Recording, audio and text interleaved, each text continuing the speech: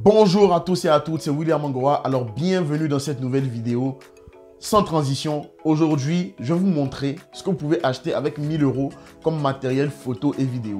Oui, c'est possible d'avoir un boîtier, d'avoir un objectif, deux objectifs même avec le boîtier, d'avoir des cartes mémoire, d'avoir des lumières, d'avoir un trépied, d'avoir tout ce qu'il faut comme matériel pour bien commencer en vidéo. Donc je vous dis tout ça tout de suite après le générique. C'est parti.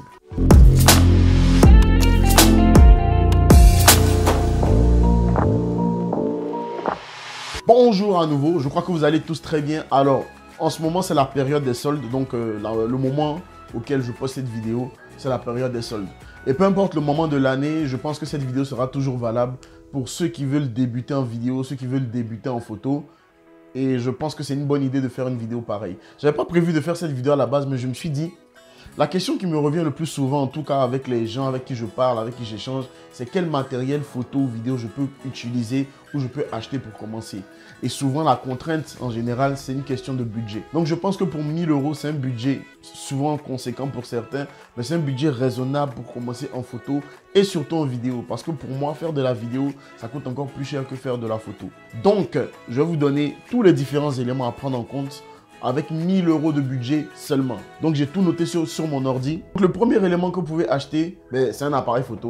Ne vous inquiétez pas, tout ce que je suis en train de citer, je mets les liens dans la description juste en bas. Et ce sont des liens affiliés. Ça veut dire que pour chaque appareil, bien pour chaque élément accessoire que vous allez acheter, je vais toucher une petite commission de 3 à 4%.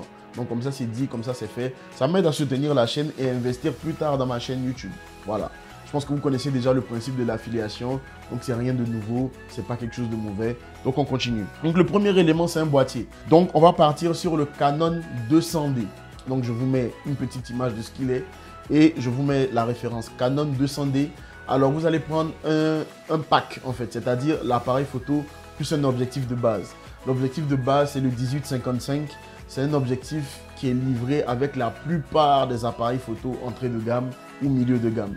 Donc c'est un objectif commun que vous allez retrouver chez Nikon, vous allez retrouver chez Canon. Euh, chez Sony, je crois, ils ont un 1755 ou un 1655. Je ne sais plus trop ce qu'ils ont chez eux. Voilà, c'est un objectif de base. Donc, euh, pourquoi de base En fait, parce qu'il est, je pense qu'il est le moins compliqué à construire. Il n'a pas la meilleure qualité de construction en tout cas, mais il permet déjà de se lancer en photo et en vidéo.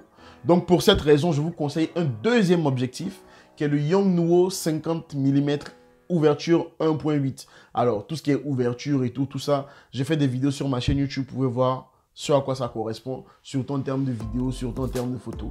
Et de toutes les manières, je ferai d'autres séries sur la vidéo et la photo, sur ces paramètres-là qui peuvent sembler être compliqués, donc l'ouverture, l'exposition, les ISO, tout ce que vous voulez, pour que vous puissiez comprendre le maximum de ces éléments-là. Donc vous allez prendre un Yongnuo 50 mm. Alors la particularité de cet objectif, c'est qu'il est imbattable niveau qualité-prix. Il est tout simplement imbattable niveau qualité-prix. Il coûte à peu près 55-60 euros. Le plus important, ce n'est pas forcément le matériel que vous avez. Le plus important, c'est votre capacité à utiliser le matériel que vous avez. Voilà. Donc c'est pour ça il faut d'abord se former à devenir un meilleur créateur de contenu, à, à, mieux utiliser les outils que vous avez à votre disposition et ensuite vous investissez dans le matériel qui va avec. Donc l'élément important ici, c'est l'objectif Yongnuo 50 mm ouverture 1.8. Il coûte 60 euros environ, comme je vous l'ai dit, et il fera des merveilles en photo et en vidéo. C'est les 50 mm 1.8 par exemple qui donne un arrière-plan flou qui fait que si j'amène ma main devant, il va faire le point sur ma main, normalement là, voilà. Et si j'enlève, il fait le point maintenant sur moi. Donc c'est ce que le 50 mm permet de faire avec une ouverture de 1.8. Il, y a des ouvertures de 1.4, ça coûte encore plus cher. Et 1.2, c'est encore plus cher. Troisième élément, un trépied, bien évidemment. Alors je vous conseille le trépied de chez K&F Concept. C'est un trépied euh, qui coûte 70 euros à peu près. Mais je l'ai conseillé à 2-3 personnes. Elles m'ont dit qu'elles sont pleinement satisfaites de ce trépied. Il est très versatile aussi. Il est facilement transportable, facile à ranger aussi et il n'est pas lourd. Donc euh, il a une solidité aussi. Je crois que celui que j'ai donc celui que j'ai, c'est pas un KF, c'est un Bilora que j'avais acheté à l'époque. Ça fait deux ans que je l'ai. Je l'ai utilisé très souvent, je l'ai utilisé un peu partout, mais il fonctionne encore. Je l'ai acheté 60 euros à l'époque, si je me souviens bien. Ensuite, il va falloir acheter de la lumière. Alors là, en ce moment, j'ai la lumière du jour, mais qui n'a pas de grande influence sur, ce, sur cette vidéo. C'est plus la lumière que j'ai derrière moi. C'est un kit de base de chez Amazon qui doit coûter à peu près 70 euros. Alors, je vous mets le lien en description. Mais surtout, ce que je vous conseille, c'est une petite lumière comme ça, elle a à peu près cette taille-là, euh, qui s'appelle Aputure. Une lumière de chez Aputure, qui coûte 50 euros. Elle est petite, se transporte partout, mais elle est très puissante en termes de, luminosité. Donc, vous pouvez en prendre deux ou trois comme ça, et ça va suffire amplement pour votre setup vidéo. Voilà.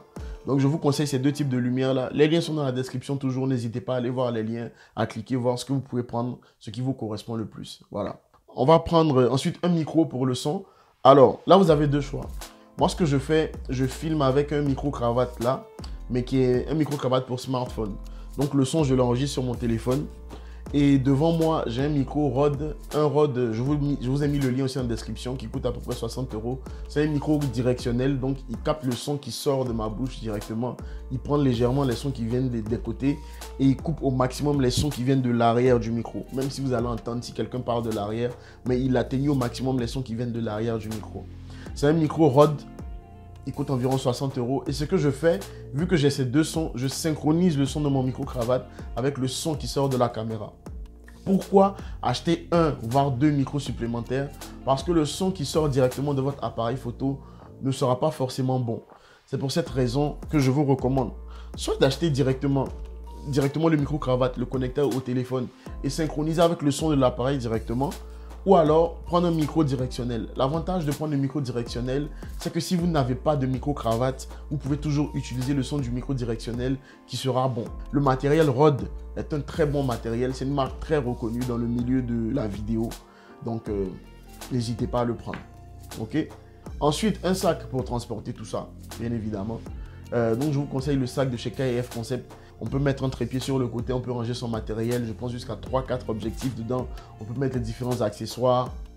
Voilà, tout y passe quoi. Donc je vous conseille ce sac de chez KF Concept. Ensuite, ben, des cartes mémoire, hein, parce qu'il faut bien stocker les photos, les vidéos qu'on prend. Alors je vous conseille des cartes SanDisk, pas d'autres marques, SanDisk. Je crois qu'il y a Lexar qui en fait et Sony, mais tous les créateurs de contenu, la majorité vous diront, ils ont des cartes SanDisk. Euh, je vous conseille un débit de 90 mégas par seconde en écriture et en lecture pour que ça puisse enregistrer plus rapidement vos photos et vos vidéos. Si vous prenez un débit de 80 mégas par seconde, ça passe, mais 90 c'est encore mieux. Ça écrit plus rapidement sur la carte mémoire. C'est un petit détail, mais ça va vous faire gagner du temps dans la copie de vos fichiers, dans l'enregistrement de vos vidéos et éviter certains bugs. Lorsque vous allez filmer en 4K et autres, vous aurez besoin de cartes beaucoup plus grosses, beaucoup plus chères et qui écrivent beaucoup plus vite, donc du 300 mégabits par seconde, etc. etc. Donc c'est le degré, la quantité d'informations qui va être enregistrée sur la carte mémoire qu'on mentionne en mégabits par seconde, donc en vitesse d'écriture et de lecture. C'est un langage un peu technique, mais au moins vous le savez et vous n'allez pas vous faire berner si quelqu'un vous vend demain une carte mémoire à, je sais pas, 20 mégabits par seconde à 200 euros. Vous allez lui dire, hum, sérieux. Voilà. Donc des cartes mémoire, euh, vous pouvez en prendre alors, j'ai compté dans, le, dans les 1000 euros 4. Donc, vous en prenez 4 de 32, au moins 2, et 4, c'est l'idéal. Voilà. Et ensuite, des batteries externes, parce qu'une seule batterie pour l'appareil ne va pas suffire. Et le 200D, je crois qu'il est petit, donc c'est un appareil compact. Je vous conseille de prendre les batteries Canon. Sincèrement, euh, prenez les batteries de la marque. Ça évite certains problèmes. Et donc là, on va faire le total. Est-ce qu'on a atteint notre budget de 1000 euros?